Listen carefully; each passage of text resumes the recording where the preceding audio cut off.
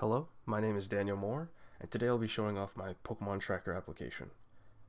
For this application,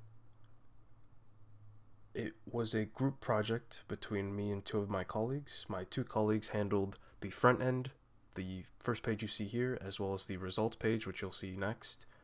And I handled the entire back end, which included the fetch requests and handling the page population with data. So, the first thing is you can search by name, or you could search by generation and type, or you could just search by generation, or just search by type. So first, let's search for a generation 1 water type. Hit search, and you'll be met with all this information here. A list of Pokemon cards that are water type from generation 1. Now, the difference between the Pokemon game and the card game is that you can have Pokemon of different types with a water type card. So in this case, Pokemon like, um, like this Pokemon Sandshrew.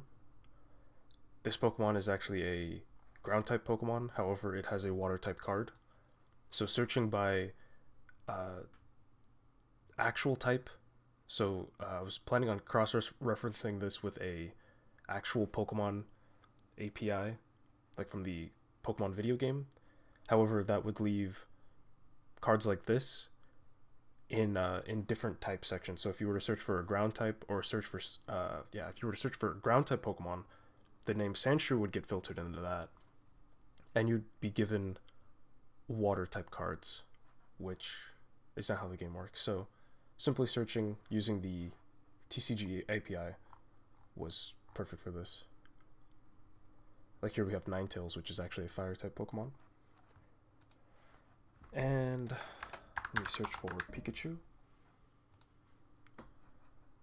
Here we have a list of all the Pikachu cards. Click on this one. See the market price for the normal, reverse holofoil, and holofoil. If you click the Pokemon, the Pokeball in the bottom right, it'll save it into your card collection here, which you can access from the top right. And then you can see a list of all of your previously saved Pokemon cards. And this is all saved through local storage. Alright, so here's a look at the back end. To see all the stuff that I, all the work that I had put into it.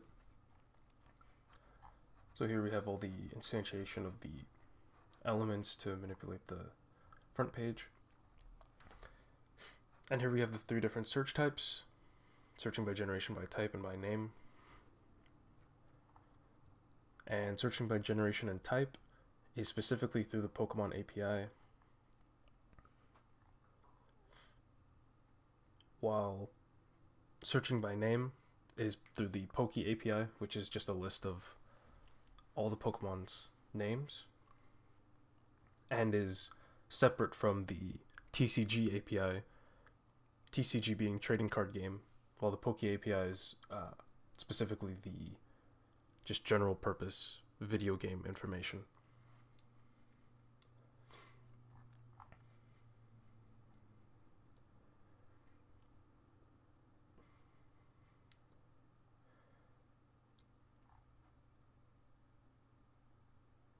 And here was just generally sorting the cards. Here's creating the different elements that you see populating the results page with all their different IDs and information. And then upon clicking a card, this allows for the modal to pop up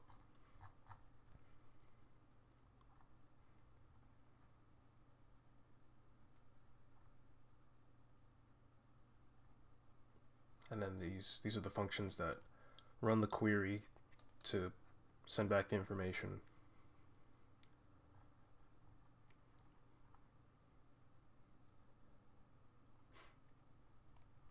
And this is filling out that information to see if there's any sort of the different prices to see if those different prices exist for the reverse holofoil, the normal, the regular holofoil.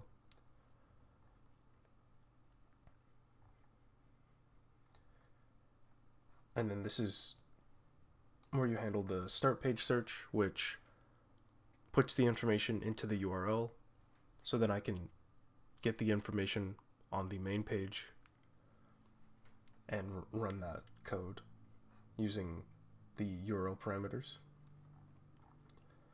The add event listeners for the different buttons that are clicked. Here, this is where we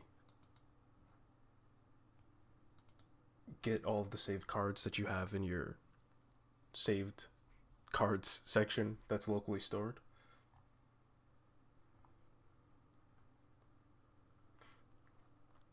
And then this is where we post those save cards.